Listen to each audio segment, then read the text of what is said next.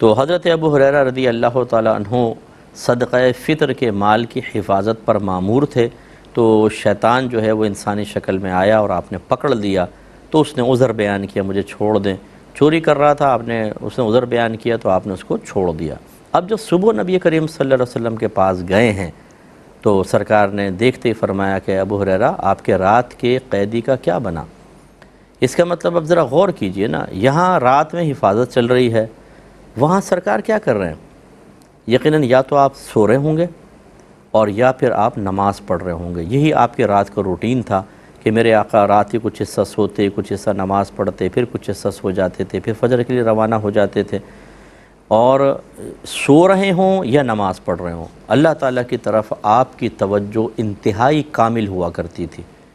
और अजायबात कायनात आपके सामने मुनकशिफ होते थे।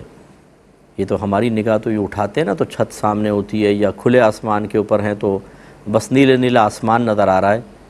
लेकिन जो अल्लाह के नेक बंदे हैं और खसूस मेरे आका वसल्लम, उन्हें तो ऐसे ऐसे अजायबात दिखाए जाते थे कि जिसका हम तस्वुर भी नहीं करते हैं। वो हर वक्त मुशाह अजायबात में रहा करते थे। अगरचे ये कोई इस पर कोई शरी आप कहें ये कुरान से साबित करें, हदीस से, ऐसा नहीं।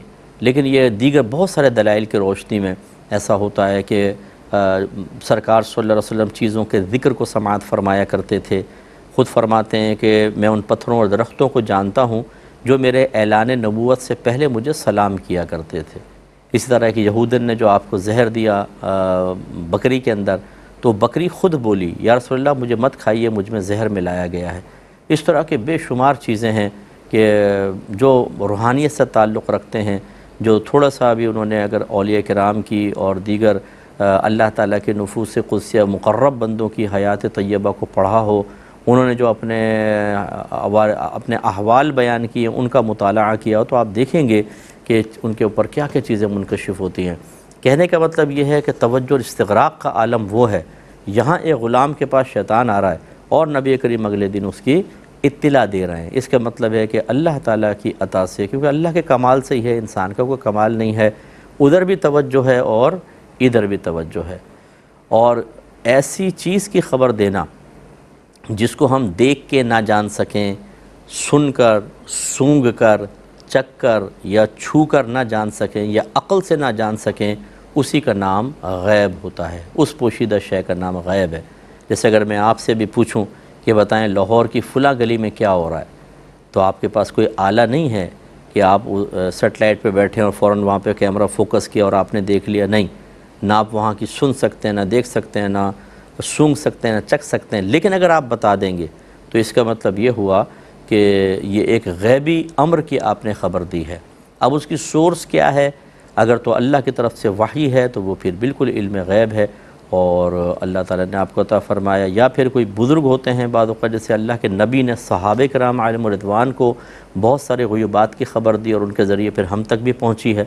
हम अल्लाह को जानते हैं, अल्लाह ताला है, लेकिन ना हमने कोई आले से जाना, ना देखा, ना उसकी आवाज़ सुनी, ना कोई उसकी खुशबू है, ना छू कर ना मादल्ला कोई चक कर, फिर भी हम कहते हैं अल्लाह है। तो एक गैबी ख़बर है ना हमारे पास, ये किसने बताई? अल्लाह के नबी ने।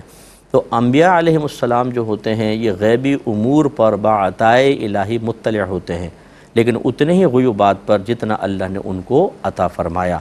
हमारे नबी करीम सल्लल्लाहु अलैहि वसल्लम के बारे में हमारा अकीदा ये है कि आपको माँ काना व माँ यकून का इल्म हासिल है। माँ काना माँ माने जो, काने माने, काना माने हो गया, जो हो गया, वमा यकून, माँ माने जो, यकून माने होगा। माँ काना वमा यकून का मतलब जो हो गया और जो होगा, वो अल्लाह ने अपने हबीब को भी तफसील बताया। जैसे सही हदीस में है कि सरकार मंबर पे जलवा अफरोज़ हुए, फ़जर की नमाज़ के बाद, और जहर तक बयान करते रहे, फिर जहर की नमाज़ पढ़ी, असर तक बयान किया, असर की नमाज़ पढ़ी, मगरिब तक बयान किया। साहब कराम कहते हैं कि इस पूरे वक्त में सरकार ने अशिया की पैदाइश से लेकर, जब पैदा हुए और क़यामत तक जो कुछ हुआ, जो कुछ होने वाला था, माँ काना वमा यकून के अल्फाज हैं, सब सरकार ने बता दिया। हती कि जन्नती जन्नत में चले गए और दो ज़ख़ी दो ज़ख़ में चले गए।